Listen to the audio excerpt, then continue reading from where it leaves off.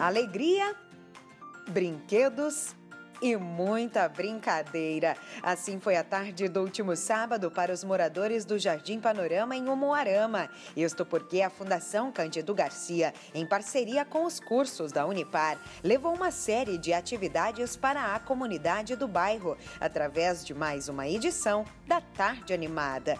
O evento faz parte de um cronograma de trabalhos que são desenvolvidos nas entidades de Umuarama. Nós temos bastante criança aqui nessa tarde, né?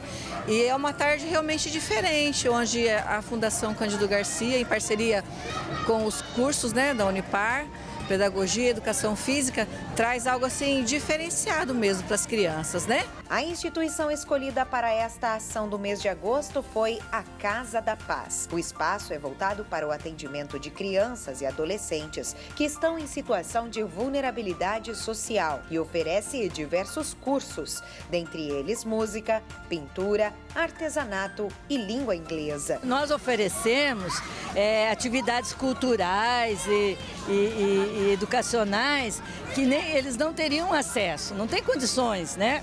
Então a gente encaminha para essas aulas, para essas oficinas.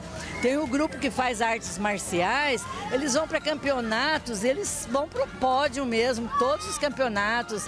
É, os de música já estão se destacando também. Para continuar desenvolvendo o trabalho em prol da comunidade, a presidente explica que a Casa da Paz conta com o voluntariado. Silvia ressalta que através deste trabalho, muitos adolescentes e jovens podem ter a oportunidade de um futuro melhor melhor. Nós oferecemos oficinas de música, informática, reforço escolar, artesanato, é, tudo, tudo que a gente conseguir, pessoas, porque nós trabalhamos basicamente com voluntariado.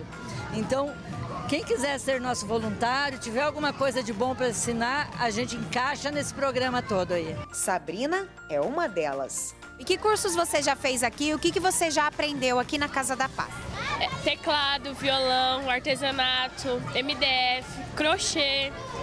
Eu aprendi também. A gente faz projetos fora, a gente faz karatê, jiu-jitsu, muay thai. A gente aprende bastante coisa aqui. Já esses dois meninos não participam das atividades da Casa da Paz, mas fizeram questão de aproveitar as atividades que foram organizadas pela Fundação Cândido Garcia. E aí, John, conta pra mim, o que, que você já fez aqui de legal hoje? Ah, eu fui naquele lá que fica jogando um negócio um pro outro e no escorregador. É, e o que, que você achou? Você gostou? Aham. Uhum. É, foi divertido? Sim. Você estavam me contando que você faz curso de coroinha? Aham. Uhum. É, e o João Vitor também faz curso de coroinha? Aham. Uhum. É, e é. aqui pertinho? Aham, uhum, é ali. É, na igreja aqui do lado. E aí viu e veio pra cá? É. Minha mãe viu e decidiu trazer a gente para brincar um pouco. Nos próximos meses, outras ações como esta devem ser realizadas em outras instituições. Dentro do cronograma, a próxima tarde animada acontece no sábado, dia 6 de outubro, a partir das duas horas da tarde. A gente já pode estar convidando já, então, né? A comunidade vai ser lá na Vida e Solidariedade. Vai ser em outubro o nosso, nosso próximo evento. Trazemos, então, uma tarde animada para eles, mas na realidade quem ganha mesmo somos nós em ver a alegria dessas crianças.